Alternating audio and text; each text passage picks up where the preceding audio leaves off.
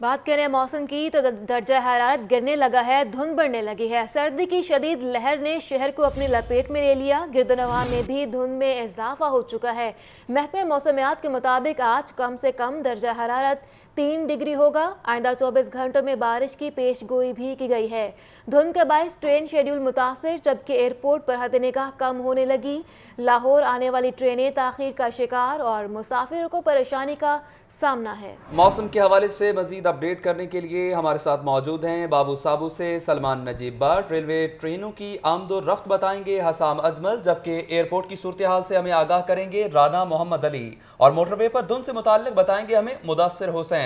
سب سے پہلے رک کرتے ہیں بابو سابو کا، جہاں پر موجود ہیں نمائندہ لاہور نیوز سلمان نجیب۔ سلمان، بتائیے گا، موسم کی کیا صورتحال ہے؟ محکمہ موسمیات کا مزید کیا کہنا ہے؟ کب تک ایسا موسم رہے گا؟ اور بارش کی کوئی پیش گوئی کی گئی؟ جی بالکل، بارش کی بھی پیش گوئی کر دی گئی ہے اور محکمہ موسمیات کی جانب سے یہ کہہ دیا گیا ہے کہ آئندہ آنے والے چند گھنٹوں میں اور ایک دو دن میں جو ہے وہ بارش کے امکانات ہیں، جبکہ آج جو ہے سارا دن میں موسم جزوی طور پر ابر آلود رہا اور سورج کو بھی جو ہے وہ کم موقع ملا اپنا چہرہ دکھانے کا۔ اس وقت بابو صابو پہ بھی صورتحال کچھ اسی طرح سے کی ہے کہ ہلکی ہلکی یہاں پر دھن تو ہے، لیکن آئندہ آنے والے جو چند گھنٹے ہیں، اس میں دھن کی شدت میں بھی اضافہ ہو جائے گا اور جو یہاں پر ٹریفک کی آمد و رفت کا سلسلہ بھی جو جاری ہے، وہ بھی ہو سکتا ہے، اس کو بھی بند کرنا پڑ جائے۔ لیکن جو شہر کے، جو جو شہری علاقے ہیں ان کے اندر دھن کم پڑ رہی ہے، بنسبت جو شہر کے نواحی علاقے ہیں، کیونکہ وہاں پر جو ہے ہریالی زیادہ ہوتی ہے، جس کی وجہ سے وہاں پہ دھن بھی زیادہ پڑ رہی ہے اور اور دھن کی شدت میں اضافہ بھی ہو جائے گا۔ اور اسی کے ساتھ ساتھ اگر بارش کی بات کر لوں تو بھی تھوڑی دیر پہلے یہاں پر ہلکی ہلکی بارش بھی ہوئی ہے اور محکمہ موسمیات نے بھی اس بات کی پیش گوئی کر دی کر دی ہے کہ آئندہ آنے والے چند گھنٹوں میں بھی بارش کا جو سلسلہ ہے وہ شروع ہو جائے گا اور ہم نے دیکھا کہ آج لاہور ایئرپورٹ پر بھی جو فلائٹ شیڈول ہے وہ کافی متاثر رہا۔ پچیس جو تقریباً پروازیں تھیں وہ دھن کی باعث جو تھیں وہ تاخیر کا شکار رہیں۔ جی۔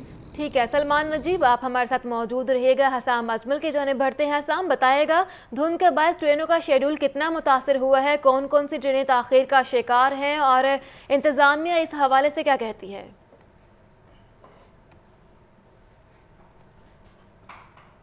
اس وقت پہ موجود ہیں۔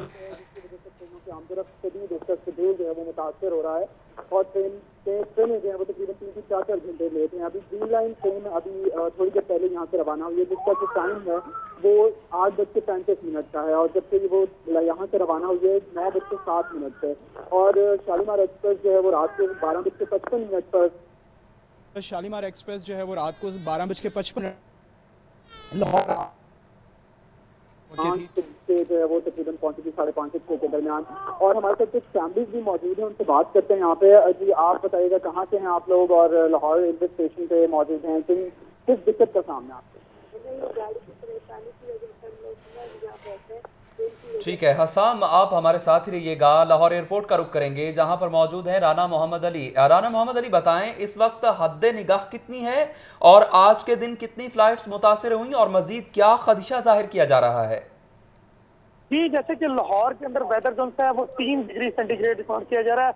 سردی بڑھنے کی وجہ سے نہ صرف دھن بڑی ہوئی ہے بلکہ جو بیرون ملک جانے والے اور آنے والے مسافر ہیں ان کے لیے بھی مشکلات کا سامنا ہے۔ آج تو چھ بجے کا آپ کو میں ویدر بتاتا ہوں۔ چھ سو میٹر سے کم تھی حد نگاہ آٹھ بجے تقریباً پانچ سو میٹر ہوئی اور نو بجے تک یہ آٹھ سو میٹر تک بھی گئی حد نگاہ جبکہ دوپہر ایک بجے پھر یہ آٹھ سو میٹر ہوگی اور شام پانچ بجے سے لے کے اب تک جو حد نگاہ وہ چھ سو میٹر ریکارڈ کی گئی ہے۔ کہ دھند ابھی شروع ہوئی ہے پڑھنا۔ جو رات دس بجے تک تقریباً یہ تین سو سے چار سو میٹر رہ جائے گی۔ لیکن یہ جو سلسلہ دھند کا ہے وہ ونڈ زون کے شمال سے مشرق آنے والی جو ہوا اس کے ساتھ یہ بڑھے گا۔ اور تقریباً رات ایک بجے کے بعد یہ دھند مزید بڑھتے ہوئے ڈھائی سو میٹر تک حدیں نکال جائے گی۔ کل پچیس پروازیں متاثر ہوئی ہیں، آٹھ منسوخ ہیں، جبکہ اٹھارہ تخیر کا شکار ہے بیرون ملک جو آپریشن ہے، وہ تو کیٹ سی سسٹم جن جہازوں کے اندر نفس ہے، وہ تیارے اڑان بھر سکیں گے۔ لیکن یہ کہ جو اے ٹی آر تیارے ہیں بیرون ملک، وہ نو تیارے ان میں سے کسی کے اندر ایسا سسٹم نہیں ہے جو دھن کے اندر لینڈ کر سکے۔ اسلام آباد، پشاور، ملتان، سکھر بھاول پور کے مسلسل پروازیں منسوخ جا رہی ہیں۔ ایک پرواز کراچی جانی تھی وہ بھی تقریباً آٹھ سے دس ٹھیک ہے پروازیں منسوخ ہو رہی ہیں۔ مسافروں کو پریشانی کا سامنا ہے۔ دوسری جانب بڑھیں گے مدثر حسین کی جانب۔ مدثر بتائیے گا موٹر وے کی کیا صورتحال ہے؟ کیونکہ دھند کا رات صبح سے شام ہو چکی ہے رات ہو چکی ہے دھند برقرار ہے۔ تو اس صورت میں موٹر وے کی جانب انتظامیہ کی جانب سے کیا الرٹ جاری کیے گئے ہیں؟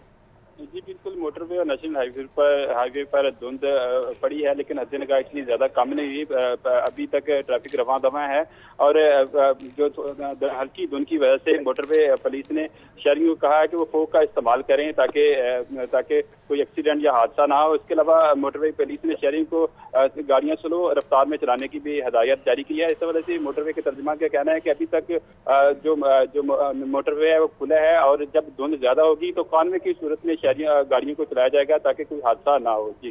ٹھیک ہے، بہت شکریہ آپ کا مدثر حسین۔ آپ ہمیں موٹر وے سے اپڈیٹ کر رہے تھے۔ دوسرے جانب ایئرپورٹ سے رانا محمد علی، ریلوے اسٹیشن سے حسام اجمل، جبکہ بابو صابو پر سلمان نجیب نے ہمیں موسم کی صورتحال سے اپڈیٹ کیا ہے۔